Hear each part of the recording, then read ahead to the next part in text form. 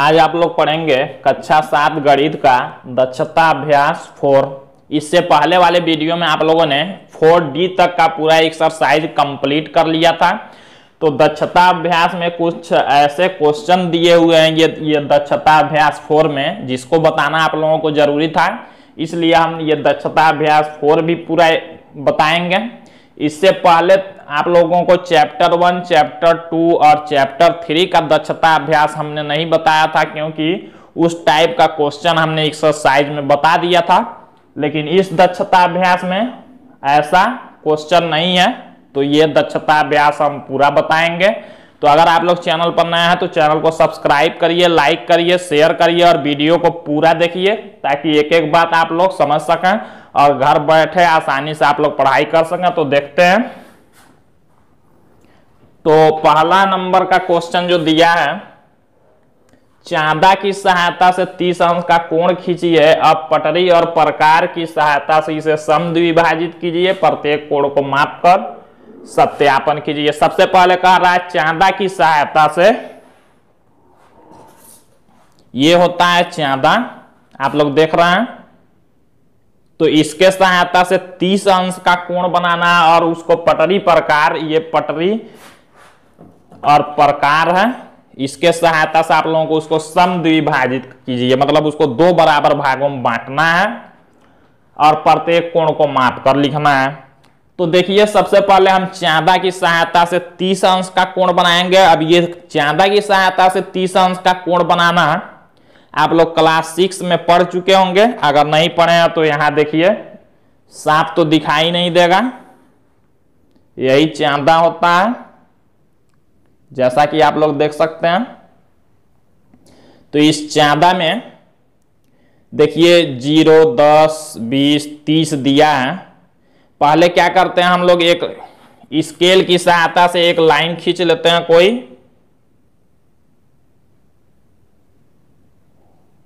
मान लीजिए हमने एक लाइन, एक रेखा, ए बी खींच लिया। इस पर हमको पहले क्या करना है कि चांदा की सहायता से 30 अंश का कोण बनाना है। तो कोण बनाने के लिए देखिए क्या करते हैं आप। चांदे में एक नीचे लाइन होता है ऐसे, देखिए, यहाँ पर एक पड़ी लाइन होती है ऐसे। इस लाइन को इस वाले लाइन पर रखते हैं और चांदे में बीच में ये देखिए, ऊपर से नीचे एक सीधा लाइन होता है। इस वाले लाइन के सबसे निचले वाले छोर को इस रेखा के ए बिंदु पर रखते हैं, यहाँ पर।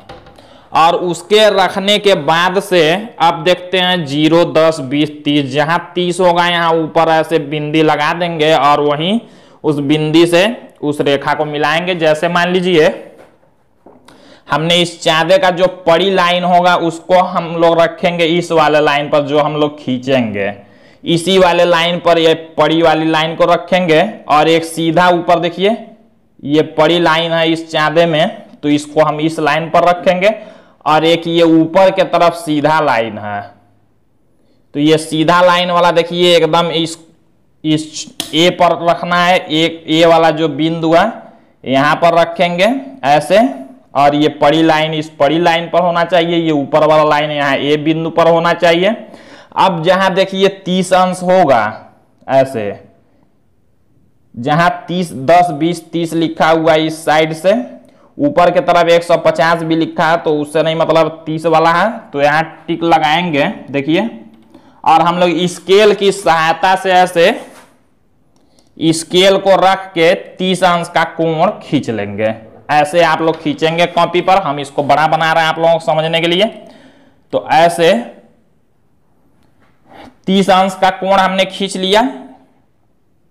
अब यहाँ भी कोई नाम लिख लेंगे, देखिए बी है ए है, यहाँ हम कुछ भी लिख सकते हैं। मान लीजिए हमने सी लिख दिया, ये हमने चांदा की सहायता से 30 अंश का कोण बना लिया। अब कह रहा है पटरी और प्रकार की सहायता से इसे समद्विभाजित कीजिए मतलब दो बराबर भागों में बांटिए। अब हम लोग प्रकार में पेंसिल को लेंगे और कोई भी दूरी अपने तरफ़ से ले लेंगे और ए बिंदु पर प्रकार को रखेंगे। कोई भी दूरी ले सकते हैं। ए पर रख के एक चाप लगाएँगे। इन दोनों रेखाओं को देखिए काट देंगे ऐसे, कोई भी दूरी लेके। मान लीजिए ये देखिए, दोनों रेखाओं को ये चाप एम और एन पर काट रहा है। अब हमको क्या करना है? ये हमने एक चाप लगाया किसी भी दूरी से। हमको क्या करना है? इस कोण को दो बराबर भागों में बांटना, समद्विभाजित करना है। तो देखिए, हमने कोई चाप लगाया। अब प्रकार में दूरी लेंगे ऐसा एक बार यम पर रख के चाप लगाना है, एक बार यन पर। दूरी कौन सा लेंगे, ये ध्यान में रखेंगे। तो देखिए यमयन जो है, इसी का आधे से अधिक का दूरी लेंगे। तो देखिए, हमने आधे से अधिक का दूरी अंदाज से ले लिया है। एक बार यम पर रखेंगे और एक चाप ऐसे लगा देंगे। और दूरी को अब घटाना बढ़ाना नहीं है, उसी दूरी से एक बार एन पर रखेंगे और एक दूसरा चाप लगाएँगे जो पहले चाप को देखिए। यहाँ काट रहा है, इसका नाम मान लीजिए हमने लिख लिया पी पी बिंदु पर काट रहा है। अब स्केल की सहायता से क्या करेंगे? इसी पी से मिलाते हुए एक रेखा खींच लेंगे। यही क्या हो गया? इसका भी नाम कुछ लिख लेंगे, मान लीजिए। हमने एस लिख लिया।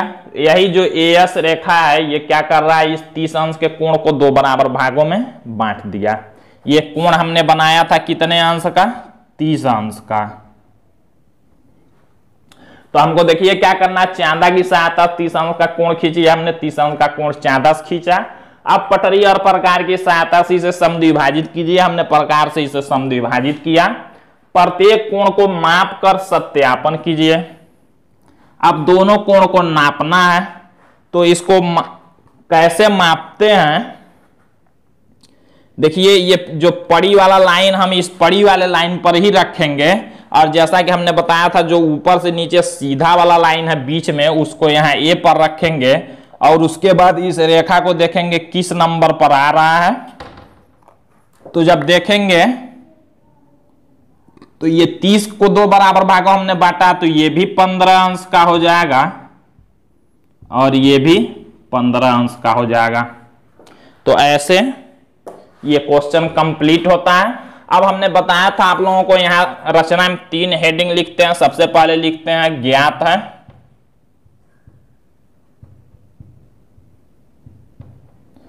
सेकेंड में लिखते हैं, रचना करनी है। और थर्ड में लिखते हैं, रचना के चरण। तो ज्ञात है में क्या लिखेंगे? चांदा की सहायता से पहले दिया, देखिए, तीस अंश का कोण खींचिए। पटरी और प्रकार की सहायता से इसे समद्विभाजित कीजिए। तो हमको ज्ञात है क्या? एक कोण, तीस अंश का कोण बी ए सी नाम भी लिख सकते हैं उसका। अब लिखेंगे क्या रचना करनी है?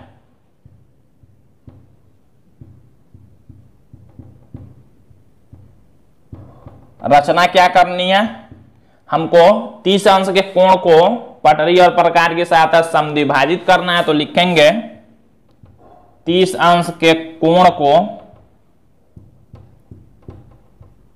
को, या लिखेंगे कोण बी को समद्विभाजित करना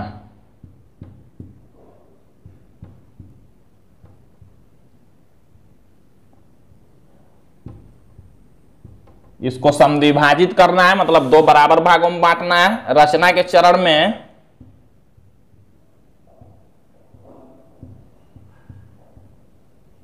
अब रचना के चरण में नंबर डाल के लिखा जाता है, एक, दो, तीन, चार, पाँच, जितना आप लोग चाहेंगे लिख सकते हैं तो इसको आप लोग लिखेंगे। जैसे जैसे बनाएँगे, वैसे पहले हमने एक कोण, चांदा की सहायता से कोण बी ए सी तीस अंश का बनाया। उसके बाद हमने क्या किया? कोई भी दूरी प्रकार में लेकर ए पर रखकर एक चाप लगाया, जो रेखा ए बी को एम पर और रेखा ए सी को एन पर काटता है। अब प्रकार में एम एन के आधे से अधिक का दूरी लेकर एम पर रखकर एक चाप लगाया, उसी दूरी से एन पर रखकर दूसरा चाप लगाया, जो पहले चाप को पी पर काटता है। ए को स्केल की सहायता से पी से मिलाते हुए आगे यश तक बढ़ाया, यही एस रेखा कोण बी ए सी का समद्विभाजक है। नापने पर प्रत्येक कोण पंद्रह अंश का है। बस ऐसे लिख देना है। सत्यापन कीजिए नाप के तो लिखेंगे ना। मापने पर ये दोनों कोण पंद्रह पंद्रह अंश का है। तो अब सेकेंड क्वेश्चन देख सेकेंड क्वेश्चन हम लोग देखते हैं। दो रेखाएँ ए बी और सी डी खींचिए जो बिंदु ओ पर प्रतिच्छेदित करती हैं। इस प्रकार बने शीर्षाभिमुख कोण सी ओ ए और कोण बी ओ डी को पटरी और प्रकार की सहायता से समद्विभाजित करके सत्यापित कीजिए कि इनके समद्विभाजक एक ही रेखा में है। तो जैसे दिया, वैसे हम लोग पढ़ के बनाएँगे। ये नहीं देखेंगे कि क्वेश्चन बहुत बड़ा दिख रहा है तो कैसे बनाएँगे, कैसे करेंगे, कुछ नहीं है। देखिए, ऊपर से अभी बना रहे हैं कैसे। दो रेखाएँ ए बी और सी डी खींचिए। खींच लेते हैं पहले। हम लोग स्केल की सहायता से दो रेखाएँ खींच लेंगे ए बी और सी डी और कह रहा है कैसे खींचना है, जो बिंदु ओ पर प्रतिच्छेदित करती हैं। प्रतिच्छेदित का मतलब होता है काटना। दो रेखाएँ ऐसे खींचना है, जैसे हम लोग इंग्लिश का एक्स बनाते हैं तो उस तरह से खींचना है, ऐसे क्रॉस करके, तभी दोनों एक दूसरे को काटेंगे। तो देखते हैं स्केल से खींचेंगे ए बी और सी डी मान लीजिए हमने एक रेखा ऐसे खींच दिया ए बी हमने खींच दिया ए बी हम ऐसे इसलिए खींच रहे हैं कि दो रेखाएँ एक दूसरे को ओ पर काट रही हैं। तो एक रेखा हमने खींच दिया ए बी और दूसरा सी डी खींचना है बिंदु ओ पर जो प्रतिच्छेदित करना, दोनों ओ पर काटेंगे। और एक रेखा मान लीजिए हमने खींच दिया यहाँ से, यहाँ तक। सी डी कह रहा है दोनों रेखाएँ ओ पर प्रतिच्छेदित करती हैं मतलब एक दूसरे को काटती हैं कहा? जहाँ कट रही हैं, ये क्या है? ओ है। ओ पर एक दूसरे को काटती हैं। तो हमने ए बी और सी डी खींच लिया ओ पर प्रतिच्छेदित करती हैं। देखिए, हमने इतना बना लिया। आगे देखते हैं। इस प्रकार बने शीर्षाभिमुख कोण सी ओ ए और कोण बी ओ डी को पटरी और। अब देखिए, इसमें शीर्षाभिमुख कोण किसको कहते हैं?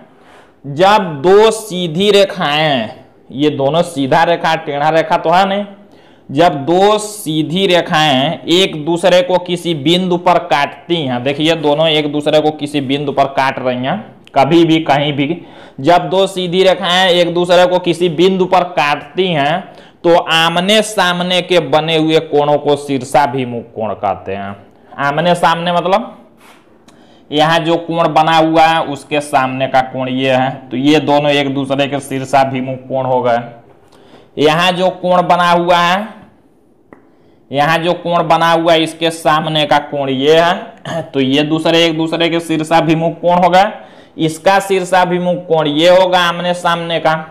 इसका शीर्षाभिमुख कोण ये होगा। इस ऊपर वाले का शीर्षाभिमुख कोण नीचे होगा, इस नीचे वाले का शीर्षाभिमुख कोण ऊपर होगा। तो ये शीर्षाभिमुख कोण होते हैं, आमने सामने के कोण।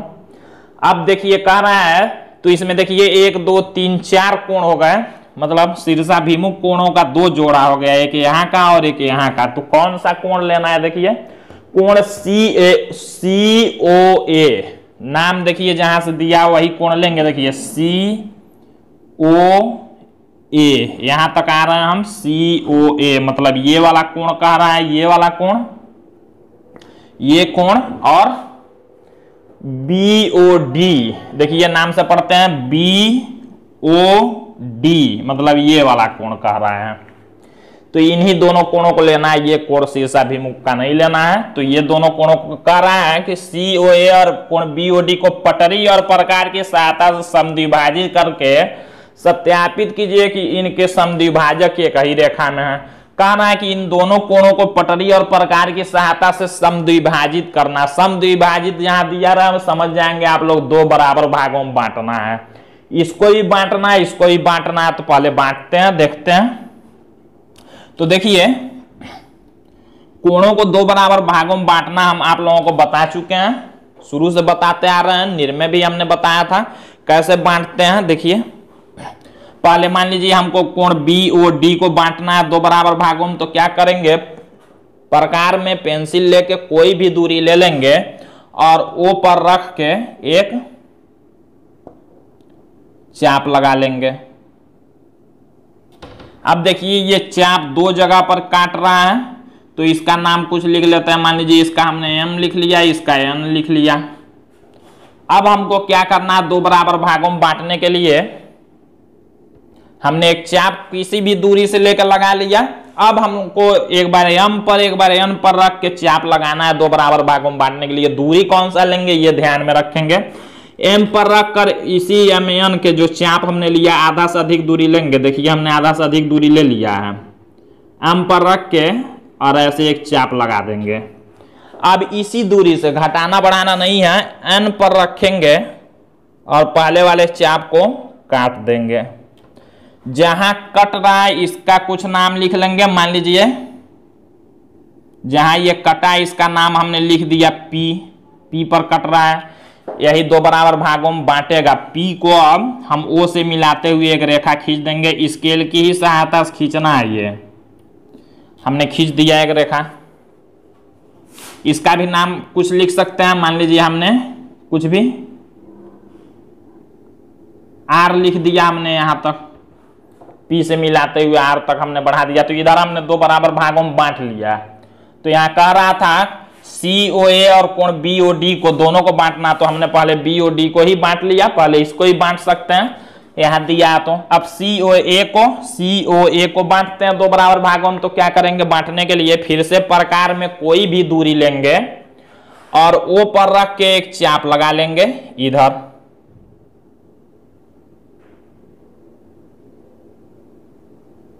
देखिए, हमने कोई भी दूरी लेके चाप लगाया, मान लीजिए ये भी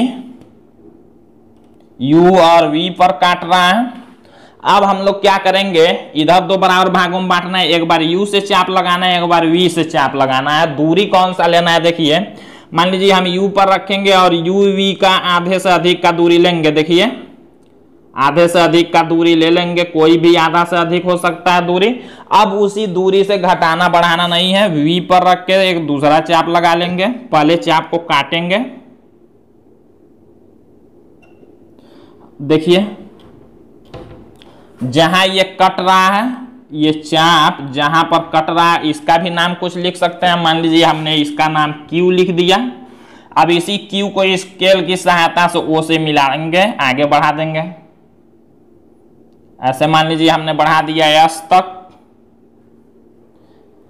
तो देखिए, हमने दो बराबर भागों में दोनों कोणों को बांट लिया, जो कह रहा था, यहाँ तक हमने कर लिया है। समद्विभाजित करके। अब देखिए, आगे क्या कर रहा है? सत्यापित कीजिए कि इनके समद्विभाजक इनके समद्विभाजक मतलब इस कोण के और इस कोण के समद्विभाजक मतलब ये रेखा, जो दो बराबर भागों में बांट रहा है। इनके समद्विभाजक एक ही रेखा में है। तो देखिए, ये जो रेखा है ये और ये दोनों एक ही रेखा में है, इसको सत्यापित करना है तो कैसे सत्यापित करेंगे? आप लोग लिखेंगे, यहाँ सबसे पहले देखिए, लिखेंगे ज्ञात।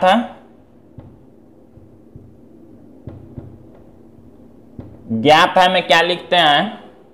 दो रेखाएँ दी हुई हैं ए बी और सी डी तथा उनसे जो कोण बना है शीर्षाभिमुख कोण। तो लिखेंगे दो रेखाओं दो रेखाओं ए बी और सी डी से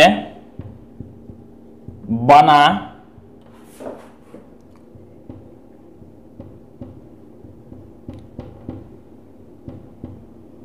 शीर्षाभिमुख कोण यही दिया है क्वेश्चन में शीर्षाभिमुख कोण।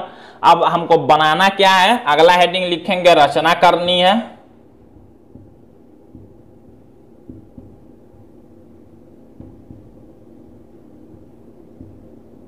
रचना करनी है में हम लोग लिखते हैं कि जो बनाना रहेगा, हमको क्या करना है? कोणों का समद्विभाजक रेखा खींचना है। तो लिखेंगे क्या? शीर्षाभिमुख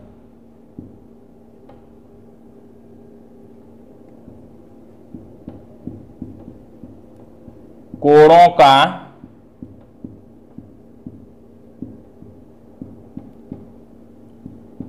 समद्विभाजक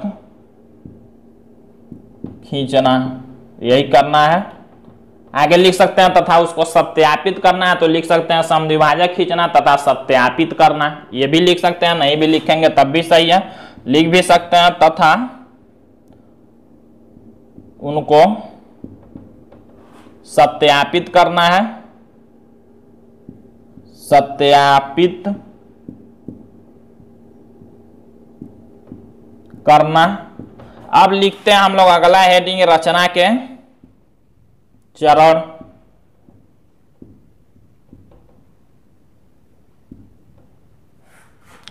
तो रचना के चरण में नंबर डाल के जैसे जैसे बनाएँगे, लिख लेंगे। पहला नंबर मान लीजिए हमने क्या किया है? एक रेखा ए बी तथा दूसरा रेखा सी डी खींचा। दोनों रेखाएँ एक दूसरे को ओ पर काट रही हैं। ऐसे पूरा डिटेल में नहीं लिखेंगे और लिख लेंगे कि हमने दो शीर्षाभिमुख कोण बी ओ डी और सी ओ ए निकाला। दो शीर्षाभिमुख कोण सी ओ ए और बी ओ डी बनाया। ऐसे लिख लेंगे। अब क्या करेंगे? पूरा डिटेल यहाँ नहीं लिखेंगे, चाप लगाया, बस ऐसे लिख लेंगे, कोण बी ओ डी को प्रकार की सहायता से दो बराबर भागों में बांट, बांटते हुए एक रेखा ओ आर खींचा, तथा कोण सी ओ ए को भी समद्विभाजक प्रकार की सहायता से समद्विभाजित करते हुए एक रेखा ओ एस खींचा। तो ये समद्विभाजक का हो गया। अगला नंबर में हम लोग लिख लेंगे क्या? अब हेडिंग अब डालना है इसमें एक और हेडिंग डाल लेंगे सत्यापित करना है। चाहे हेडिंग डालेंगे, चाहे उसी में लिख सकते हैं। हेडिंग डालेंगे सत्यापन, या उसी में लिख सकते हैं। देखिए, ये जब कह रहा है कि सम एक ही रेखा में है। एक ही रेखा में होने का मतलब क्या हुआ? अगर ये, इस रेखा पर 180 अंश का कोण बने तो सीधी रेखा होगी। मतलब एक ही रेखा में होंगे। आप लोग जानते हैं, अगर एक सीधी रेखा खींचा जाए तो इसको एक सीधी रेखा पर एक सौ, यहाँ से यहाँ तक का 180 अंश का कोण बनता है एक सीधी रेखा पर। तो अगर हम पर, अगर हम चांदे की सहायता से इसको यहाँ से यहाँ तक नाप लेंगे, नापेंगे और 180 अंश का कोण ये बनेगा तो लिख देंगे कि 180 अंश का कोण बन रहा है इसलिए एक ही रेखा में है, इतना लिख लेंगे। नापना आप लोग जान चुके होंगे कक्षा छह में इसको नापते कैसे हैं? इस पड़ी वाले रेखा को इस पड़ी रेखा पर रखते हैं और इस वाले ऊपर वाले को इस वाले बिंदु पर रखते हैं और नापते हैं। तो देखिए, एक सीधी रेखा जब बनेगी तो हमेशा 180 अंश का ही कोण बनेगा। यहाँ एक सीधी रेखा ही बन रही है। जब कोण को नापेंगे तो 180 अंश का ही कोण बनेगा। मतलब ये सत्यापित हो गया। अब बाकी क्वेश्चन अगले पार्ट में आप लोग देखेंगे, ये रचना है। रचना में आप लोग दो दो क्वेश्चन ही देखते जाइए, क्योंकि ये काफ़ी टाइम लगता है बनाने और लिखने में, और ये वीडियो पूरा लंबा हो जाता है, आधे घंटे का। तो इसलिए आप लोग दो दो क्वेश्चन देखते जाइए, इसको समझते जाइए। और फिर अगला पार्ट आप लोग, अगले वीडियो में देखेंगे कल। तो अगर आप लोग चैनल पर नए हैं तो चैनल को सब्सक्राइब ज़रूर करिए। बेल आइकॉन को भी दबाइए। और लाइक करिए कमेंट करिए।